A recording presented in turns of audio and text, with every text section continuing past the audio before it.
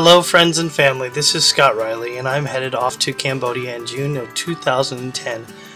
Once again, I am on a mission trip to work with the orphan homes that are also churches in Cambodia. And this time, I am also leading a Go team for Foursquare. Through Foursquare Children of Promise and Warm Blankets International, there are now 108 orphan home churches with approximately 25 to 35 orphans in each facility and a 100 or so people at each church. Cambodia is a place of great beauty, and a lot of rebuilding has happened since Pol Pot's destruction in the 70s and 80s. Tuol Sleng Prison, otherwise known as S21, is pretty much considered the Auschwitz of the East.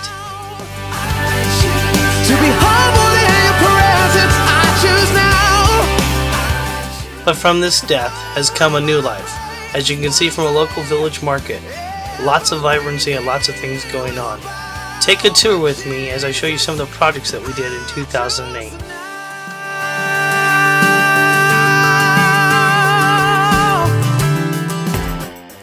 I have sped up the footage for you, so please enjoy it as I show you the deconstruction of the kitchen and the supplies coming in, the rock and the brick that became the foundation and walls for the new kitchen. And thank you to the Shingle Springs Foursquare Church for supplying the cooking ware that eventually went into that kitchen. Here also is the first parts of our digging and trenching as we built a French drain to would take the excess water from the orphanage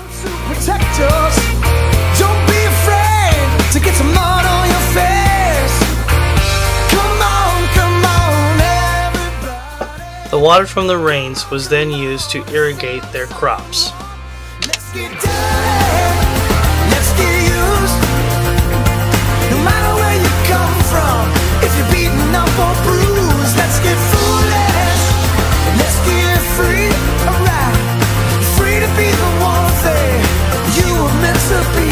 Let's get we also removed old paint from the outside and the inside of the church and gave it a fresh, brand new coat so that it looks sparkling on Sundays.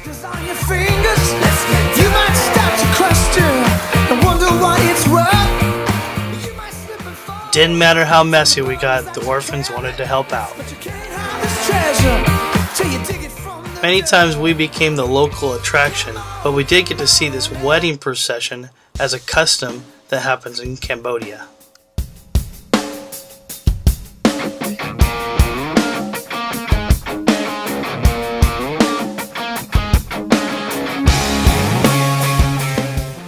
Steve Welch, one of our team members, carved this bat, and as you can see from the footage, the local orphan kids got the hang of it pretty quickly.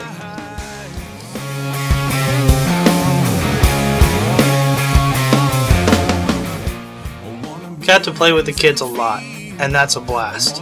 We also had fun putting in their brand new playground, which they loved.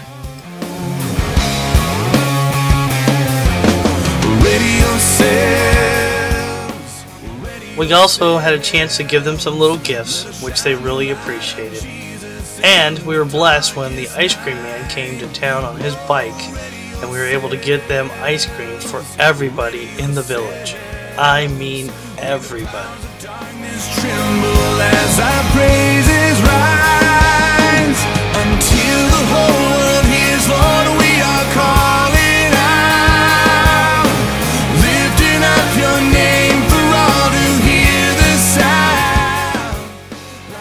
I did say everybody, right?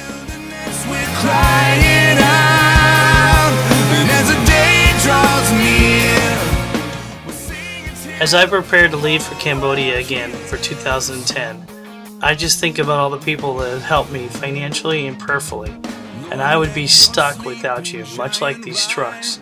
So please help me get unstuck and send support if you can.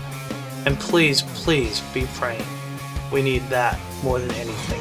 Nation sanctified, let this be our battle cry. Ready yourselves, ready yourselves, let us shine the light of Jesus in the darkest night. Oh, ready yourselves, ready yourselves.